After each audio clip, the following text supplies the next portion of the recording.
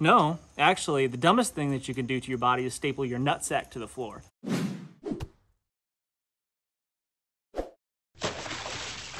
Hey friends, welcome back. I am Jason Salyer, and you know I'm all about being prepared. And here are a few tips to ensure that you are always ready.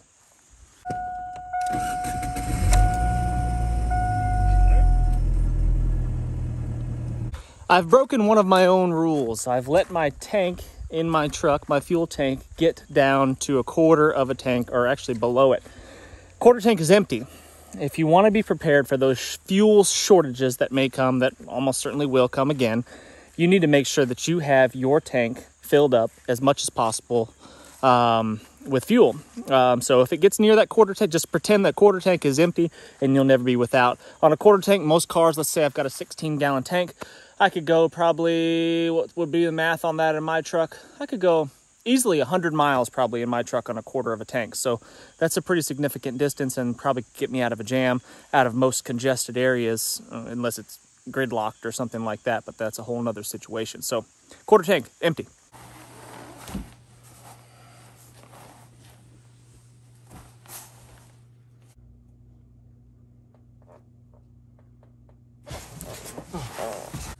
If you should hear that bump in the night, you want to be prepared. You want to be ready. So I recommend keeping a hammer with some spare nails next to the bedside. Now I understand if you have children, um, you might have to take some extra precautions, but that's on you. That's not on me. You do what you do in your household and what you think is appropriate.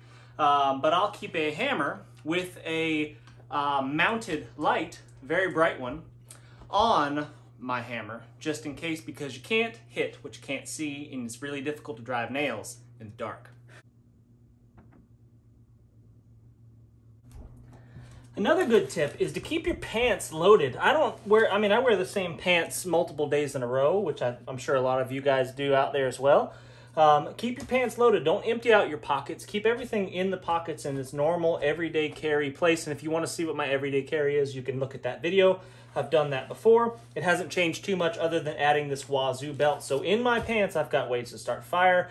I've got multi-tools. I've got um, all of the things that I keep in my wazoo belt, such as, you know, even a signaling mirror, all kinds of different stuff in here. But these things are ready to go. So if there was that bump in the night, all I really got to do is hop out of bed, throw my pants quickly on.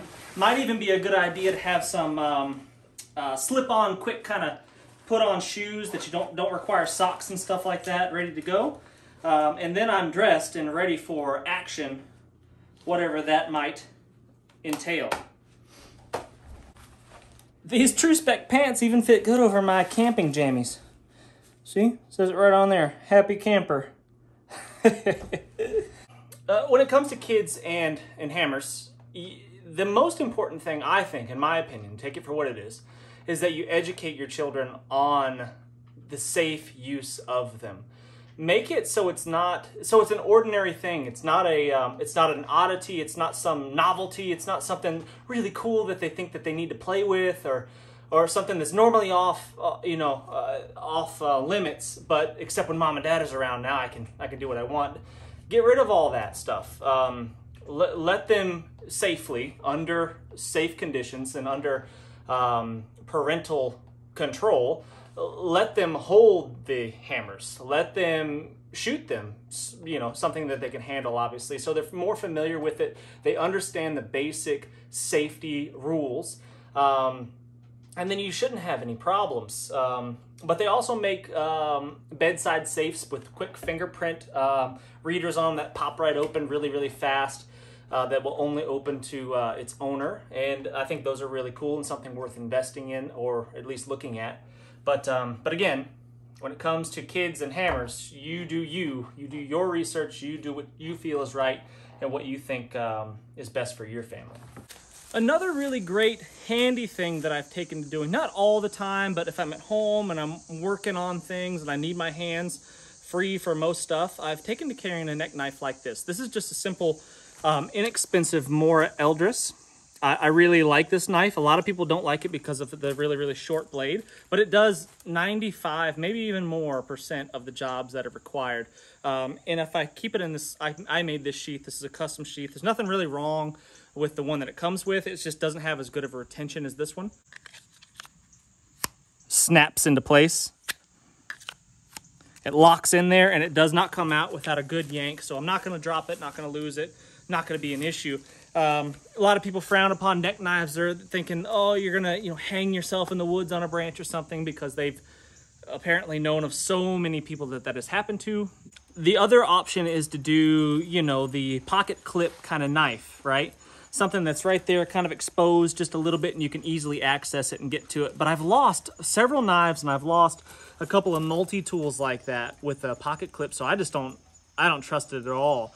Um, my multi-tool I keep in my pocket, but it's way down in there, so I, and I've never lost it because of that. Um, so if I want something easy access, you know, ready to go at a moment's notice, if I need it, need it quick. If I'm holding something, got to get it secured, I just need to make a small cut under something like that. This is about as easy as it gets. I had a funny comment one time. I, I, I've reserved it until now. I was going to respond to it, but I just didn't.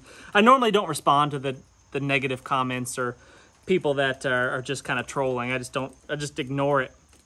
Um, but the comment was, um, a neck knife is the dumbest thing you can do to your body. You know, that was his response to my neck knife that I was wearing in the video. Um, and I really wanted to respond with no, actually, the dumbest thing that you can do to your body is staple your nutsack to the floor. But I held off until now, so there's that.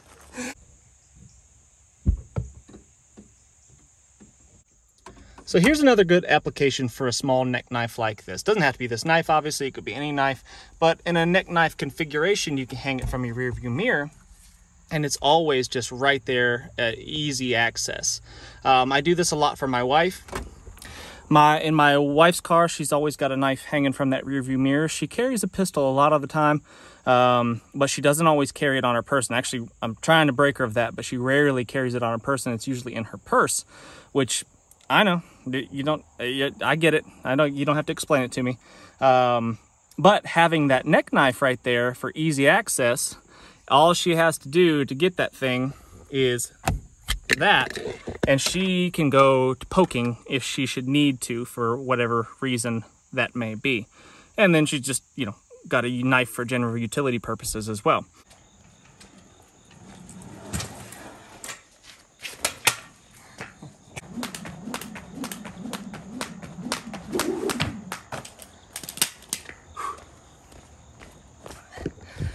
This is a three quarter pound jump rope from Mute Sports. Fantastic piece of training equipment, exhausting just for a few seconds of jumping rope. But in all seriousness, being physically fit is probably, well, it's not easy. If this video is, I don't know what I'm gonna title this video yet, but might be easy, simple ways to be prepared, me be, be more prepared, but it may not be easy, but it is something that is fairly simple doesn't require a lot of expertise in anything, doesn't really require an investment in anything, no money required. Just get out and start moving your body through space, and you will be dramatically fitter than if you're just that couch potato right now. I mean, don't give me the excuse that you can't, don't have time, you can't fit it in. Uh, nobody's more busy than me. I've got just as busy a life as you do. Um, got kids, got wife, got jobs, multiple jobs uh, making videos, editing videos. I stay really, really busy, but I still fit it in because it's a priority of mine. Um, and if you're not physically fit, uh, if you can't, you know, here, well, here's a baseline. I'm going to make one up for you. If you can't run a mile without stopping or walking, um, you're not fit enough. If you can't do a pull up, you're not fit enough. And I apologize if that comes off a little bit harsh or abrasive um, to some of you out there, but it's just the truth. And honestly, the only reason I say anything about that is because I, I really, really, really just want the best for everybody that's watching this. I think of us as a community, everybody that's watching, and I want the best for you.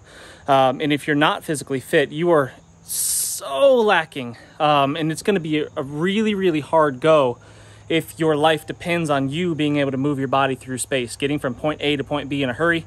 Um, may not be possible for you if you've been sitting on the couch for the past 20 years uh, doing nothing. So get up, start being active, take 15 minutes a day, and um, get something done. All right, guys, thanks so much for watching. Leave us a comment. Tell us uh, some other quick tips, some quick things that we can do to be more prepared. There's so many out there, I know. Um, so many things out there that I'm not aware of, so please share. And hit that thumbs up, subscribe if you haven't done so already. See you next time.